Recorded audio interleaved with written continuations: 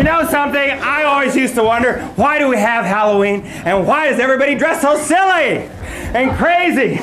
So I asked my psychology professor, Dr. Siklik. Yes, that was his name, really, Dr. Siklik. He was from Czechoslovakia. And, and he said, Psych- psychology is the study of the human mind. So I says, what does that mean? And he says, well, we wear costumes that remind us of our deepest fear. Obviously, Dr. Sickle is afraid of Madonna. But he said, in wearing the costumes of our deepest fears and the things we're really scared and afraid of, we overcome them. We conquer them. Yes. And then we'd have no more longer any reason to be afraid. Right? Right.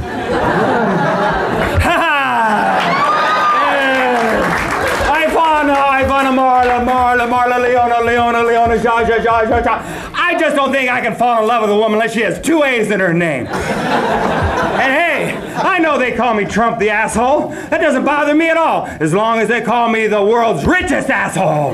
Yes, because just remember, four fifths of Trump is rum. Hey, hey, hey.